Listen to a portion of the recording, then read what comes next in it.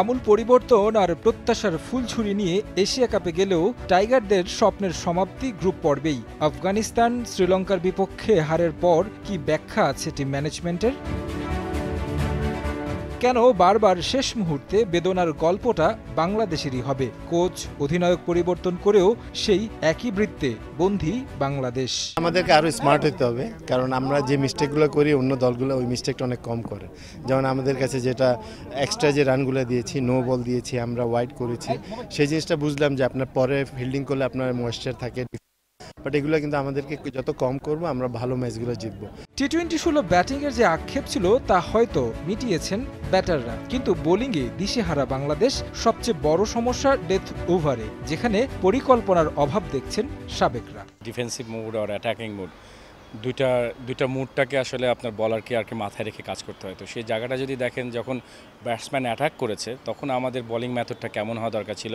আমাদের কৌশলটা কি হবে? সেই জায়গাটায় আমরা মার খেয়েছি এবং মার খাওয়ার কারণে আপনি যদি দেখেন যে বোলিংটা ঠিক ওইভাবে আমরা যে প্রেশারটা ক্রিয়েট করেছি যেটা সবসময় উইকেট টেকিংয়ের এক মানে উইকেট নেওয়ার একটা প্রবণতা ছিল। বা টি টোয়েন্টি ফরম্যাটের যে ডট বলটা কত ইম্পর্টেন্ট সেই জায়গার থেকে ফোকাস থেকে আমরা সরে গিয়েছিলাম। আমার মনে হয় বলিং প্ল্যানিংয়ের একটা জায়গায় আমরা মিস্টেক করার কারণে গত ম্যাচটা আমরা হয়তো জিততে পারলাম না। রিভিউটা কোন ব্যাটসম্যানের ক্ষেত্রে নিব? কখন নিব? বিকজ ওই জায়গাটায় ব্যাটসম্যান সেটেল ডাউন উনি মারছে ওটা অবশ্যই যেহেতু এত দর্শক চিৎকার। যদি ডাউটও থাকে কি হবে? রিভিউ মিস হবে? কেন? তো মেন ব্যাটসম্যান এমন নয় ছয় নম্বর বা সাত নাম্বার অবশ্যই নেওয়া দরকার ছিল। প্রশ্ন উঠেছে সাকিব আল হাসানের অধিনায়কত্ব নিয়েও। শেষ ওভারে শেখ মাহেদিকে নিয়ে আসা মাঠে বেশ কিছু সিদ্ধান্তই ভুগিয়েছে দলকে। সাবেকরা বলছেন শুধু অধিনায়কত্বই নয় টিম ম্যানেজমেন্টও দ্বিধান্বিত ছিলেন সিদ্ধান্ত নেয়ার ক্ষেত্রে। প্রথমে নিয়ে গেলাম দুইটা ওপেনার একজনকে উড়িয়ে নিয়ে গেলাম।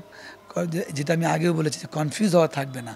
কেন যারা নীতি নির্ধারক, তারা ওই জায়গাটা একদম স্ট্রিক্টলি থাকবে কিনা আমরা এই প্ল্যান যখন আমাদের এখন সমালোচনা বা মিডিয়া বা আশপাশ থেকে প্রচুর কথা হয়, তখন আমরা একদম মানে গোরমিল পাকিয়ে ফেলি, যেটা হওয়া উচিত না। ইন দ্য ফিল্ড যেমন প্লেয়াররা কী করবে হয়তো বুঝে উঠতে পারে না অনেক সময়। অফ দ্য ফিল্ড সেম যারা নীতি নির্ধারক বা যারা দল গঠন করেন, সেটা ইলেভেন হোক বা বাংলাদেশ পনেরো জনের দলটা হোক। ওই জায়গায় তো ভেরি মাচ কনফিউজ তো ওই কনফিউজটা ওদের ক্ষেত্রে থাকা যাবে না। ক্যাপ্টেনের একটা নিজস্ব মতাম, ই থাকে, আপনার প্ল্যান থাকে। বাট কালকের ম্যাচটাতে কিছু কিছু জায়গায় আমার কাছে মনে হয়েছে যে, সিদ্ধান্ত নেওয়াটা আর একটু আর একটু স্মার্ট হওয়া দরকার ছিল।